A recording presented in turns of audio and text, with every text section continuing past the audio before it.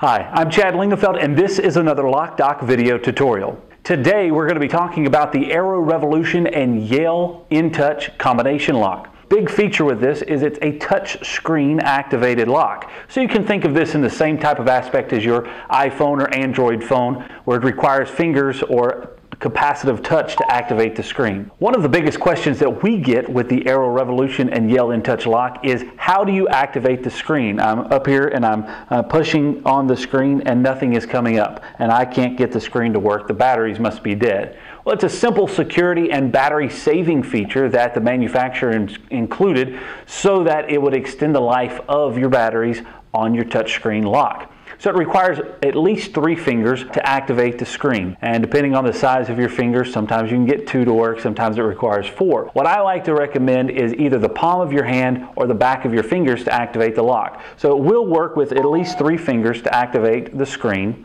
Or again, you can take the palm of your hand and simply place it over the screen to activate it. Or you can take uh, the back of your fingers and activate the screen as well. Once the screen comes alive, it will stay up for a few seconds or time out. If you do not do anything with the lock at that time, it'll time out and turn off. You can go in and punch your code in. So this one has 1234 as a temporary code. Your code obviously may differ, but if you place 1234 on the lock, you'll hit the star key at the end of that and it will allow you to unlock the door. So once again, you're going to take at least three fingers to activate the lock. One, two, three, four is our temporary code, followed by the star key, and that is going to activate the lock, and you can pull the handle down. You'll see the latch retract. One other feature to keep in mind from a visual perspective, once you punch the correct code in, followed by the star key, the screen will wipe up, indicating that it's unlocked. Once the time completes, it will wipe down, indicating that the lock is now locked behind you. You also will get a chime when that happens,